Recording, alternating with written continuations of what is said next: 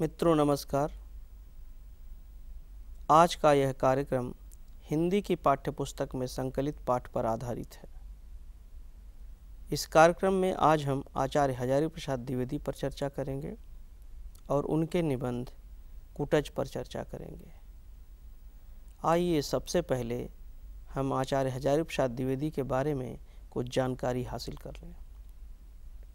आचार्य हजारी प्रसाद द्विवेदी उत्तर प्रदेश के बलिया ज़िले में सन 1907 में पैदा हुए थे। उनकी शिक्षा दीक्षा बलिया और काशी में हुई। संस्कृत विद्यालय से उन्होंने आचार्य की डिग्री हासिल की और आगे का अध्ययन उन्होंने काशी विश्वविद्यालय से पीएचडी की उपाधि प्राप्त की।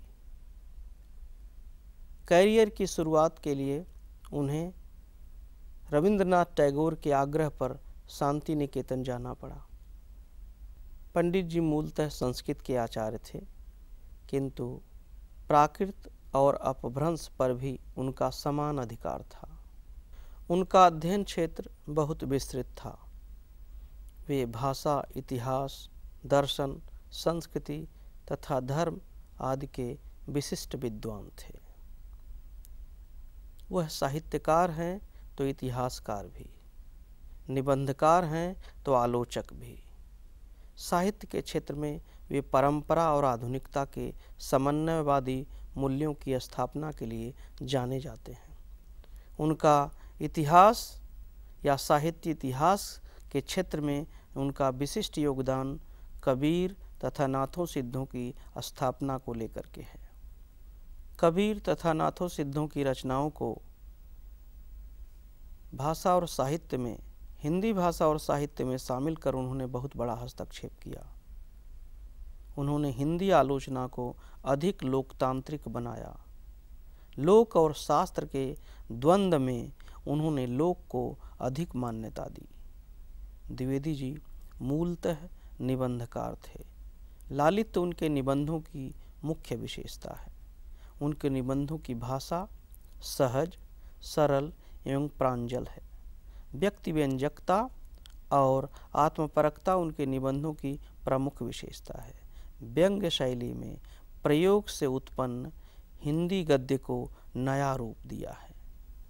वे मामूली से विषय, घटना, पात्र, स्थितियों पर बड़ा से बड़ा निबंध लिख सकते हैं। सही मायने में वे अपने समय के बड़े निबंधकार थे। आइए अब सुनते हैं हजारी प्रसाद द्विवेदी के निबंध कुटज पर प्रोफेसर नामोर सिंह के विचार। आचार्य हजारी प्रसाद द्विवेदी की एक प्रसिद्ध पुस्तक है, अशोक के फूल। और उस निबंध के कारण, निबंध की दुनिया में आचार्य हजारी प्रसाद द्विवेदी प्रसिद्ध रहे हैं। अब आज हम उसी परंपरा में उनका एक दूसरा निबंध पढ़ेंगे, जिसका शीर्षक है कुटज। कुटज को हमारे यहाँ बोलचाल में कटसरैया कहते हैं। और कटसरैया बहुत ही क्षुद्र, न फूल है, न पौधा है। कटसरैया नाम ही से मालूम हो रहा है कुटज। पंडित जी ने अशोक का फूल जब लिखा था, तब उस समय वो शांति निकेतन में थे।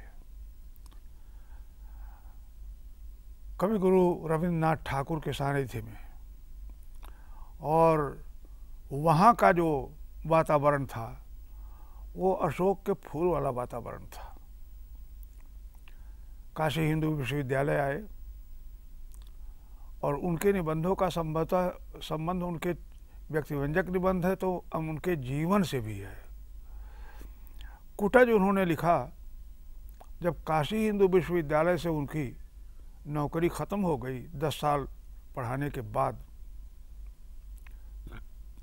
तो वो बेकार थे।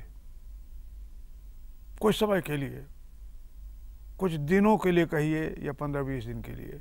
उसके बाद चंडीगढ़ में नया विश्वविद्यालय खुला था और वाइस चांसलर ने आदर से उनको अपने यहाँ प्रोफेसर और विभाग का अध्यक्ष बना करके बुलाया। चंडीगढ़ जाने के बाद जो पहला लेख उन्होंने लिखा, वो यही कुटज है।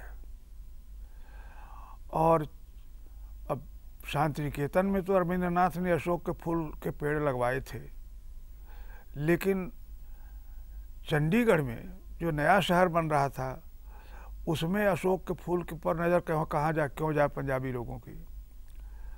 तो टहलने जब निकले तो शिवालिक की पहाड़ियाँ अगल बगल थीं। उन पहाड़ियों में अचानक उनकी नज़र फागुन के महीने में एक ऐसे छोटे से पौधे पर पड़ी जिसका पीला पीला फूल होता था। तब उन्हें लगा कि अरे, ये तो कुटज है और कुटज अकेले नहीं था, बल्कि एक पूरी की पूरी कतार पीले फूलों वाली थी। और अशोक के फूल के बाद कुटज पर नज़र पड़ते ही उन्हें अपना जीवन याद आया। कि कहाँ मैं रविन्द्रनाथ ठाकुर के आश्रम में था। मदन मोहन मालवीय के काशी हिंदू विश्वविद्यालय में सम्मान पूर्वक बुलाया गया था। और कहाँ चंडीगढ़ में, जिस हालत में मैं आया हूँ नौकरी करने, अपमानित होकर के आए थे वो जब चंडीगढ़ ने उनको सम्मान दिया था तो अशोक के फूल के बरक्स कुटज उन्हें लगा कि अपने जीवन की ही कहानी एक तरह से है। वो कुटज की स्थिति में है। और उन्होंने अचानक चूँकि पंडित जी ने कालिदास पर बहुत लिखा है, और उनके प्रिय कवि कालिदास थे, मेघदूत का अनुवाद किया है उन्होंने स्वयं तो प्रिय कवि उनके कालिदास थे। और कालिदास उनको याद आए वो प्रसिद्ध श्लोक जिसका आरंभ की पंक्तियों में उन्होंने कहा है कि कहते हैं कि पर्वत शोभा निकेतन होते हैं, फिर हिमालय का तो कहना ही क्या? क्या पूर्व, क्या अपर? इत्यादि लिखते हुए सहसा उनको कालिदास का कुमार संभव याद आता है पहला श्लोक। अस्त्युत्तर श्याम दिशि देवतात्मा, हिमालयो नाम नगाधिराज पूर्वा पर तोय निधि बगाह्य स्थित पृथिव्या व मानदंड ये पंक्ति याद आई उनको और हिमालय पर अब वो शब्दों से पंडित जी खेलते हैं।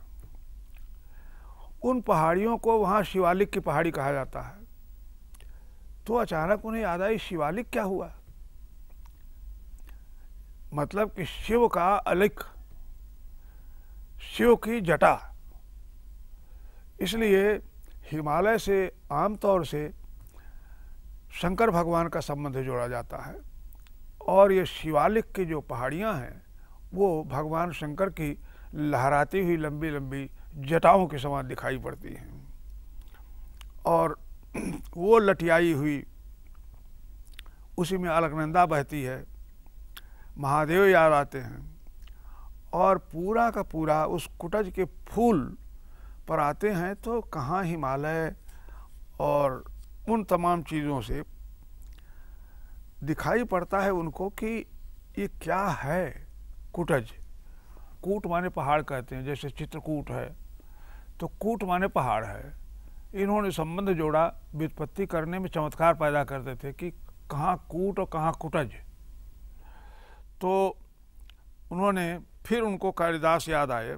मेघदूत के प्रथम सर्ग में ही, पहले ही में प्रत्यासन्ने नभसी दयिता जीविता लंबनार्थी जीमू तेन स्वकुशलमयीम हारिष्यान प्रवृत्तिम सप्रत्यग्रय कुसुम कुटिजय कल्पित अर्घाय प्रीति प्रति, प्री, प्रीत प्रीति प्रमुख वचनम स्वागतम व्याजहार।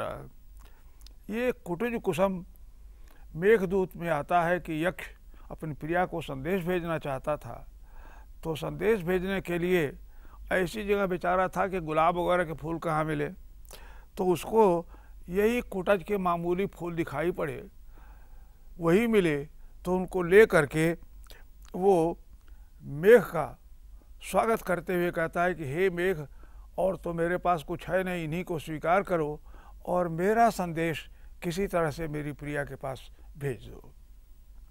इस तरह एक शब्द होता है जिसको कहते हैं एल्यूसिवनेस अंग्रेज़ी में। हिंदी में हम कहते हैं प्रसंग प्रसंग गर्भत्व। अगर पंडित चंदर शर्मा गुलेरी के निबंध आप पढ़ें तो संस्कृत के पंडित थे वो। तो उनके गद्य में आपको दिखाई पड़ेगा कि संस्कृत के किसी कवि की, किसी शास्त्र की जगह जगह आपको गूंज सुनाई पड़ेगी, उसका इस्तेमाल करते हैं। और ऐसी भाषा से और ऐसे कथन में एक नया चमत्कार पैदा होता है। हम लिख रहे हैं अपनी भाषा में, लेकिन उन भाषा, उन शब्दों का एक इतिहास है। इसलिए द्विवेदी जी के लेखन में भी, अशोक के फूल में भी है। संस्कृत साहित्य की पूरी की पूरी स्मृतियाँ जागृत हो जाती है उनके निबंधों में। और कुटज के माध्यम से भी उन्होंने कहने की कोशिश की है और फिर कुटज की महिमा बखानना शुरू किया है कि कुटज इतना मामूली नहीं है। भले ही ये अशोक न हो तो कहते हैं कि ढूंढ लिया उन्होंने रहीम में। हमने भी पढ़ा है, लेकिन हमारा ध्यान नहीं गया। वे रहीम अब बिरछ कह? जिनकर छाह गंभीर। बागन बिच बिच देखियत सेहुड़ कुटज करीर। अब वो बड़े लोग कहाँ दिखाई पड़ते हैं? अब वो बिरछ तो दुर्लभ हो गए हैं। अब तो जहाँ देखिए, आसपास हमारे वही सेहुड़ दिखाई पड़ेगा, करीर दिखाई पड़ेगा, कुटज दिखाई पड़ेगा लोगों के बीच। इसलिए समाज इस स्थिति को पहुँच गया है। तो अगर मैं शांति निकेतन में नहीं हूँ, महामना मालवीय के काशी हिंदू विश्वविद्यालय में नहीं हूँ तो शिवालिक की पहाड़ियों में बसे हुए इस विश्वविद्यालय में अपनी स्थिति अगर किसी तरह की है तो उस कुटज की तरह से मैं चंडीगढ़ में आ गया हूँ। और फिर शब्दों से खेलना पंडित जी के निबंधों की शान है।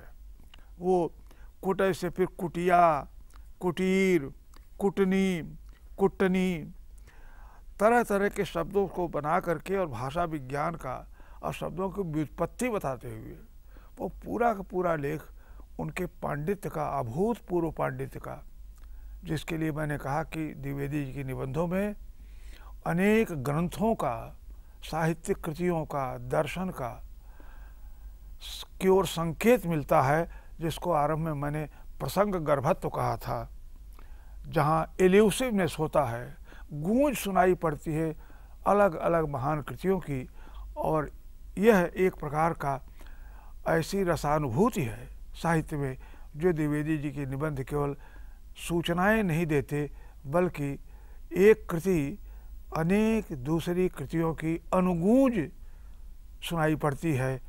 निबंध में ये अनुगूंज उनकी एक देन है। या तो ये पंडित चंद्र शर्मा गुलेरी के निबंधों में मिलती है, अथवा उसके बाद हिंदी में वह आचार्य हजारी प्रसाद द्विवेदी के निबंधों में मिलती है। प्रोफेसर नामवर सिंह के विचार सुनने के बाद हमें विश्वास है कि आचार्य हजारी प्रसाद द्विवेदी के निबंध कुटच संबंधी आप लोगों की प्रश्न, जिज्ञासाओं का समाधान हो गया होगा।